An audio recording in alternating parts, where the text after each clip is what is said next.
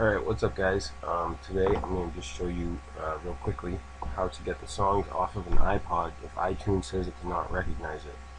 This generally can be caused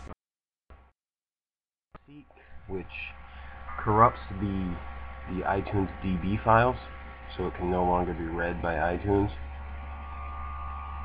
I'll show you right now. I'll get this, this warning. iTunes cannot read the contents of iPod, Brenda's iPod Touch go to the summary tab, blah, blah, blah.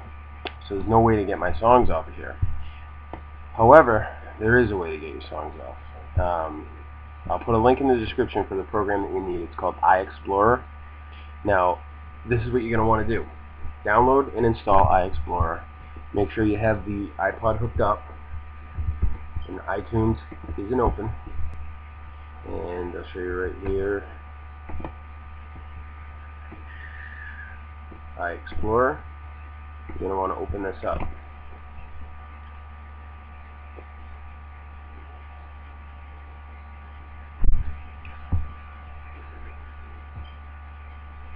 Now once you have iExplorer open, you can just close this window unless you want to share the word. I don't want to right now.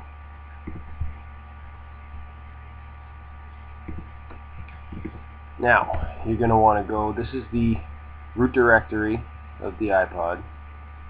You're going to want to go into, kill this, you're going to want to go into User, Media, iTunes Control, and then into the music folder. This is where all your music is stored. Now you'll see a bunch of folders, F0, F1, blah, blah, blah. If you open these up, there's going to be a bunch of M4A files inside.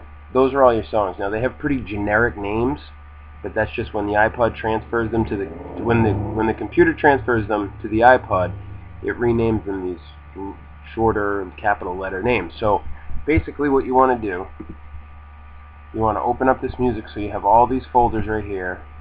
You want to select all these and just drag them and drop them somewhere on your computer. I already did that. I put them in this iTouch folder right here. So now I have all the songs that used to be on the iPod. Now, even though they have generic names, you can see over here, if you if you go, you have your contributing artist, name of the song, album, everything. So then you can basically restore your iPod, jailbreak it again, and then just transfer all your songs back on so you don't have to lose all your songs. You can keep all your songs, you know, you can do the same thing with apps. You go down here, you got all your app data, everything, all these apps that I have on here. I can do the same thing, copy all these folders off of uh, off the iPod and put them back on after the restore. Nifty little program.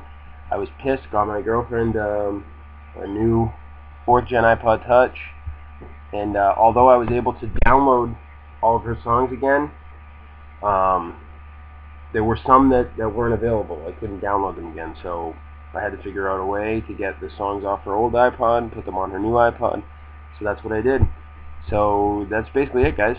So you can you can grab your uh, grab your music off your old iPod. This does not work on the original spin wheel iPods. Uh, only the newer spin wheel iPods, like the old old old school iPods, it does not work. But any iPhone, iPod Touch, iPad, anything, this will work. You can grab your music, take it off your iPod, put it on your computer, and then retransfer it once you uh, once you restore. I know that MewSeek is what screwed up my uh, my old iTouch, so that's that. Avoid MewSeek unless you want to have to do this. That's all for today, guys. Sworn Leader signing out.